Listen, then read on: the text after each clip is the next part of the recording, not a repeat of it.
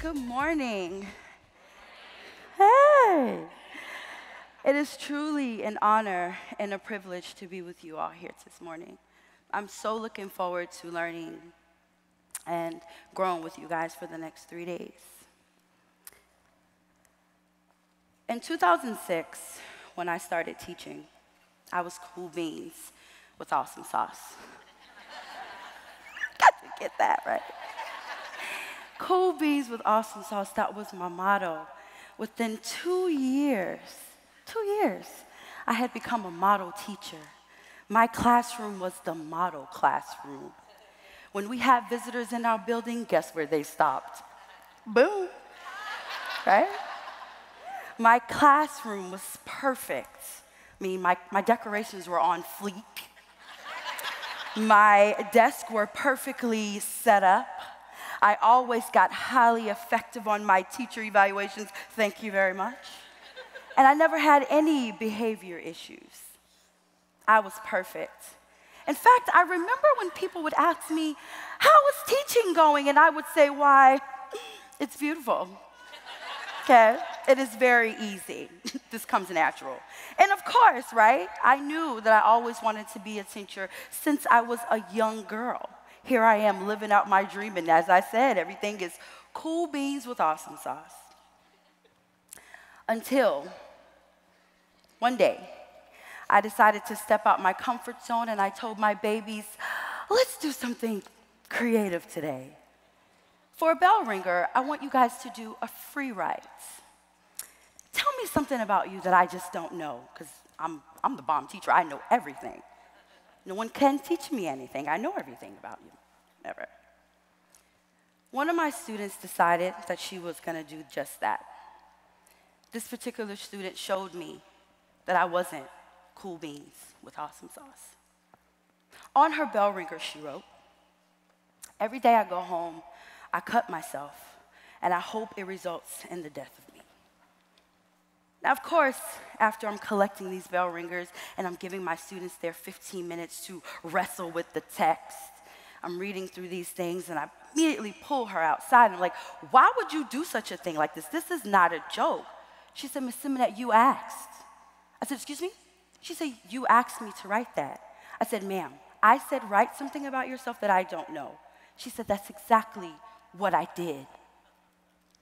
I cannot begin to tell you how my heart broke into a million pieces.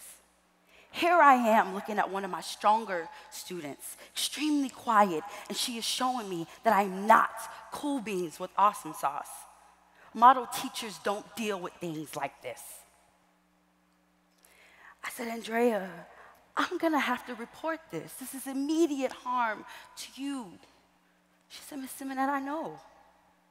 I know. And I trust you. And she said, In the midst of you reporting about me, I hope you look within yourself.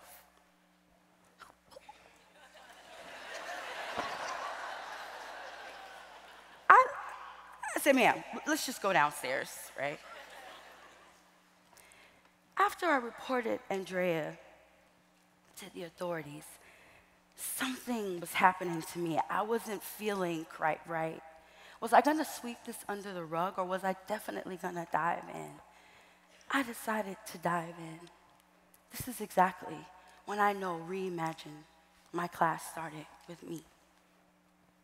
In the midst of re- reflecting, like deep down in my gut, it hit me this memory that I have forgotten for whatever reason. I had to remember my favorite teacher, Miss Naomi Payton, who truly saved me. She stood in my way and prevented me from self destructing. You see, when I was in high school, I lost my grandmother.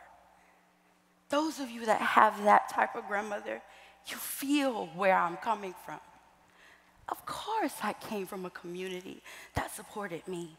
I had a family that was my cheerleaders, but there was nobody that could make me feel like my grandmother. She could look at me in a second and knew what I was feeling. She knew what my dreams were, and every opportunity she had, she spoke life into me. I grew up in a neighborhood that was not so affluent. None of my family decided they wanted to go to college, so everybody was waiting on Precious. No one knew what I was going through except my grandmother. So after my grandmother passed away, I was like, what the heck? Why? I wanted people to talk to me, to understood, understand what I was going through. Nobody did it. I did and said some unspeakable things. And you know what the adult said? Oh, just let her pass. She lost her grandmother. But they didn't know that I was upset. I was mad. I was angry. And I wanted everybody to feel my wrath. So I deliberately went to school every single day. I said things, I did things, I was waiting, just acting out. Nobody did anything until Miss Peyton was bold enough to pull me to the side and she said, Let me tell you one thing. What would your grandmother think if she saw you today? I looked at this lady and I was like, And it was as if my grandmother came through Miss Payton and said, Yeah, I'm talking to you. I cannot tell you I was paralyzed. I couldn't move. I couldn't say anything because here is this teacher bold enough, because you know, no one spoke to me because they were afraid of what I was gonna say or do. But this teacher, she said, Oh, no, ma'am, I love you, but I'm gonna hold you responsible. It may get difficult, but that is why I am here. I am here to guide you, I am here to help you. The only thing that came out of me were tears. That's the only thing that came out. Of course, it was difficult as I moved through, but it was Miss Payton that stood right in front of me every turn to prevent me from self destructing. I continued to dig deep, digging, digging, digging, conducting research. Then I stumble across this novel, The Freedom Writer's Diary. I said, What the what? How could I have not known about this? So I have this memory in my heart. I have this book in my hand, and I was like, Yes, I have to change my heart in order for me to change hearts. All of my students in my classroom, they came and they just did their work. I didn't get to know them, right? I was teaching over them, I was teaching to them. I was never teaching and learning with my students, my God. Who did I think I was? I was not perfect at all, but my students thought I was. It was at this point I started teaching to my students, right? I have to teach to the heart. I have to get in there. I'm bringing in curriculum from outside of the classroom. Okay, mess up the desk. I ripped down the walls. Everything was not perfect anymore. It wasn't perfect because I wasn't doing everything everybody told me to do. I was doing what I felt was right. I was remembering the student that I was in high school, what type of teacher I wanted to be. I wanted to not only teach from my mind, I wanted to teach from my heart. I wanted my students to know yes, my expectations for you are extremely high, but I want you to be a great person too. We had so much in class, right? Right before me, I saw walls breaking down. I was creating a culture before I even knew it. Students were a little bit more caring. They started to communicate a lot more. Community was building, collaboration, thinking critically, creativity, culturally responsive teaching, and learning my, was happening. And I'm looking around my classroom like, wow, all because of one student decided to love me enough to tell me the truth. When we were in class, one of my students, Adonis, said, Miss Symonette, you know what? I actually like your class. I said, Well, thank you. I appreciate it. I happen to like it this time too. How can we make it longer? I said, No, no. Mm-mm. Our time is 90 minutes, and that's all you're gonna get, right? But then it hit me again. What happened when I listened to my student before? When I decided to continue to listen with my heart, everything else fell into place. So I said, okay, I'll do something different. I'll create a club. Kids like clubs, right? So there was a part of me that my students didn't know about. When I was in high school and when I was in college, I was a spoken word artist. I was a poet. They didn't know this about me. So I was like, I could tell them or I could show them. So, of course, you know, sometimes we have to act hip because kids, they don't register. So I went home, put on some like cutout jeans, some little sneakers, and I went looking for those sneakers, by the way. And I took one of my younger cousins with me because I didn't know what sneakers to get. I wanted the hip ones. Had on a hat, put my hair down, I walked in, and I just flowed. They looked at me. Well, what's that? I said, Yeah, you didn't know I had skills, right? I was like, Yeah. I said, Are you guys interested in that? They were like, Yeah, we want to do that. I said, Wait a minute, what? Well, wait. I was like, uh, in the after school program, we could do that. It was like, mm-mm, Symonette, you're very smart. You could bring it in the classroom too. okay, we could do this because it's writing, it's a creative writing class. I could do this. Before I know it, I had created the Viking Freedom Writers. From that led the Florida Freedom Writers Foundation. I remember calling Miss Gruwell. I said, Miss Gruwell, um, I got a situation. Can you help me out? She said, Precious, you're fine. Just do it. Whenever you need help, let me know. I'm calling you right now.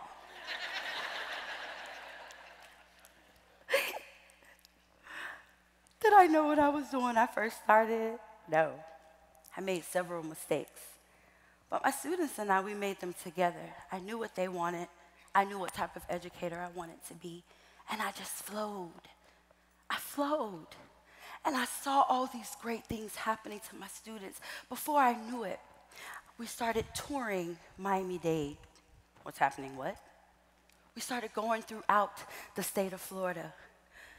I remember when we got our first email to travel to a different state for free.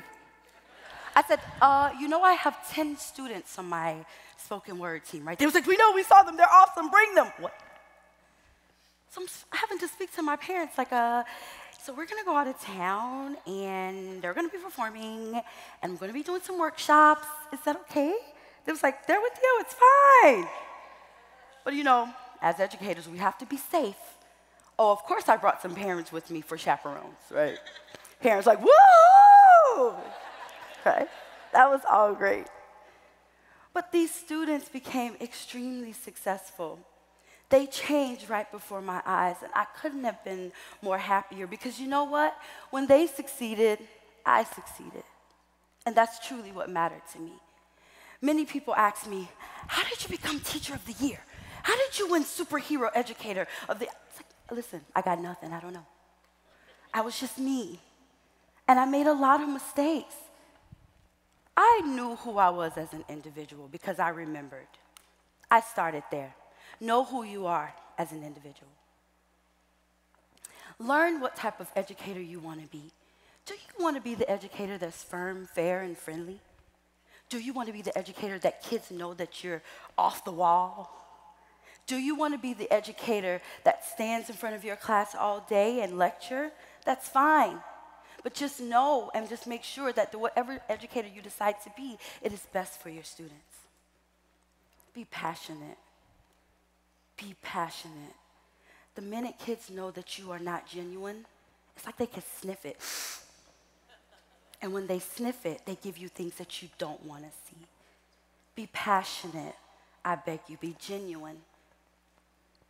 Welcome mistakes. Mistakes are our friends, right?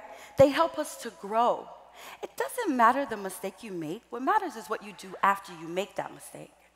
Welcome the mistakes reflect and reflect often, right? And I mean honestly, right? Because like if I would have got this information in 2006, I would like shush up anyway and kept walking. Right? Hush, hushity hush. You are wrong. I am right. I'm always right. I'm the model teacher. No. Reflect often and honestly, right? Tell your story. Tell your story. So many times as educators, we go into our classrooms and we close those doors. We create our utopia, and it is interrupted by the bell and the swinging open of the doors. You're like, dang it! But just imagine how different our experience as educators could be if we just truly share our stories. I am not perfect. I don't know everything. But guess what? I know a bomb diggity educator that does. That educator is going to help me to be better, and vice versa. Share our stories because you create a community. And at the end of the day, you won't be alone. Lastly, walk by faith and not by sight. No matter what things look like in front of you, they may be disgusting, right? But let's learn to change our mindset and realize that we have the opportunity to make it better if we continue to try and never, ever, ever give up. Had I not learned to walk by faith and not by sight, I wouldn't be the teacher, sponsor, coach of the Viking Freedom Writers. I wouldn't have been a CEO of the Florida Freedom Writers Foundation. I wouldn't be an original Freedom Writers teacher. I ask you to look at this video so that you all could see what walking by faith and not by sight looks like.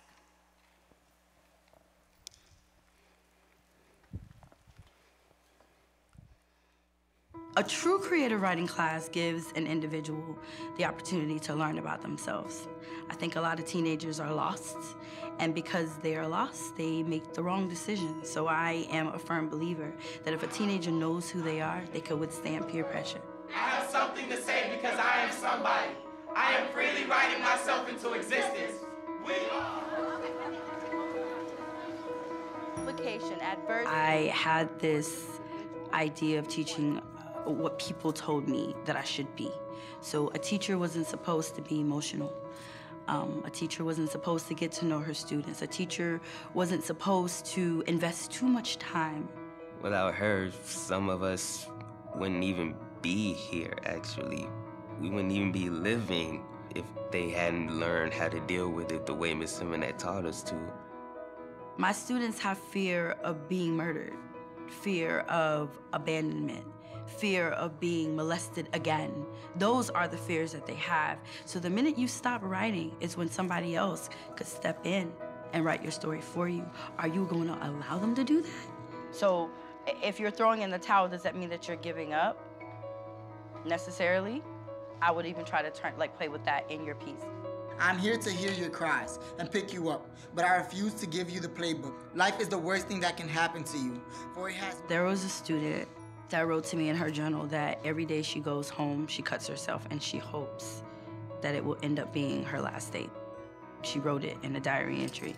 And I think that student gave me a wake up call. So, in the midst of me conducting research, I run into the novel, The Freedom Writer's Diary. I read that book in one day. And I was like, okay, this is the methodology of teaching that I need to adapt. This is who I am. I've spent most of my life living in poverty being afraid to walk out of my front door because of the risk of being shot. Crackheads getting high right in front of you. I want you to list every complication, every adversity, every hardship that you've experienced nonstop. Just list them. These kids deal with real life issues. And again, they're able to use this spoken word to heal themselves. This is their way out. This is their release. You just can't believe that this is happening to these students in this school because society and statistics tell you that this is not supposed to happen. It's no longer about us, it's about our communities. It's about showing that we can be a product of Miami Gardens and come out phenomenal. When your back is against the wall, against the ropes, use those lynches to lift your head high, I said stand.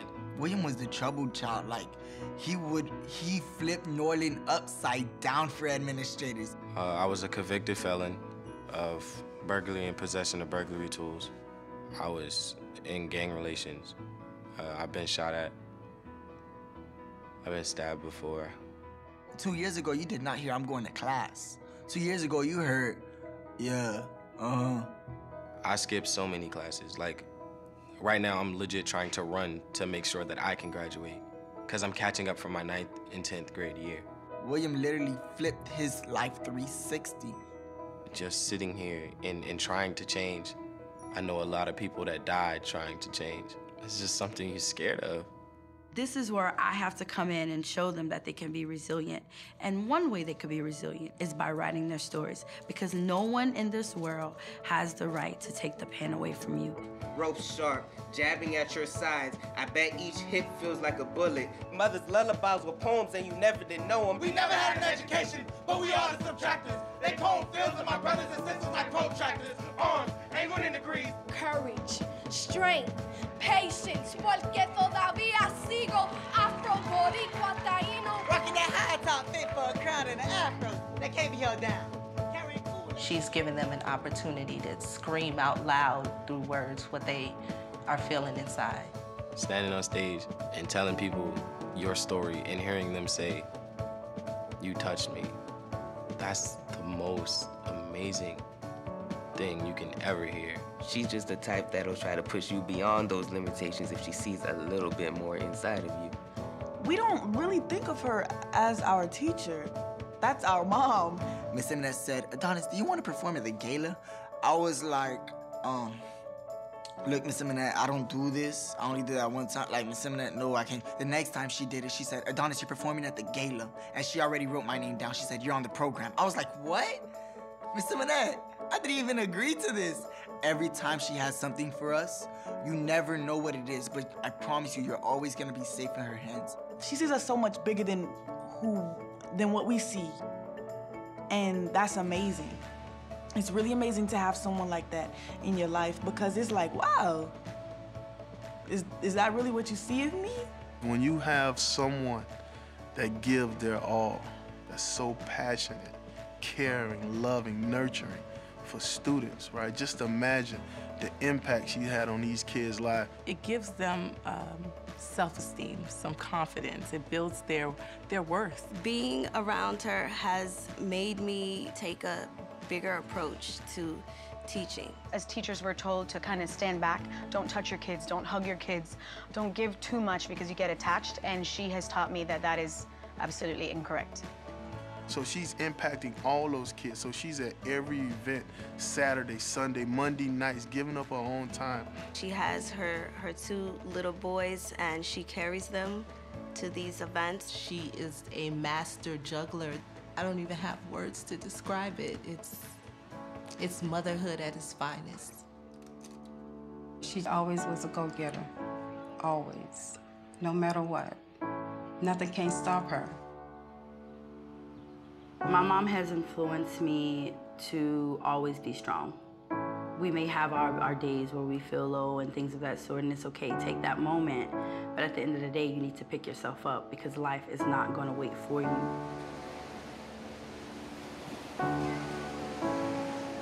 I don't feel like what I'm doing is a job. I feel like it's my life's work. So I may be exhausted, but at the end of the day, it's that good exhaustion. It's that, yes, my mind is clear, my heart is good. I'm helping the world to become a better place.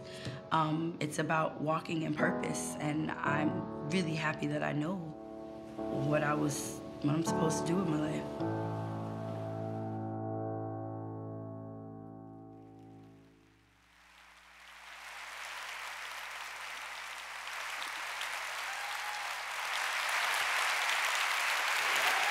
Thank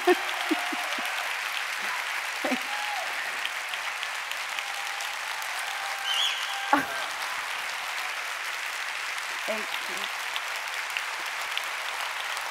I beg all of you to please, please, please be bold, be fearless, write yourselves into existence. Thank you.